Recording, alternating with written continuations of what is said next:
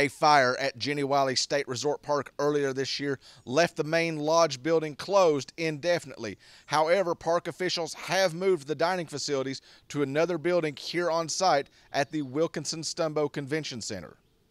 Uh, yes, the the uh, fire affected the the portion of the lodge that includes the restaurant. So, shortly after the fire, um, the staff there worked very hard and uh, was able to move um, our food services over to the conference center, and uh, they reopened in late April.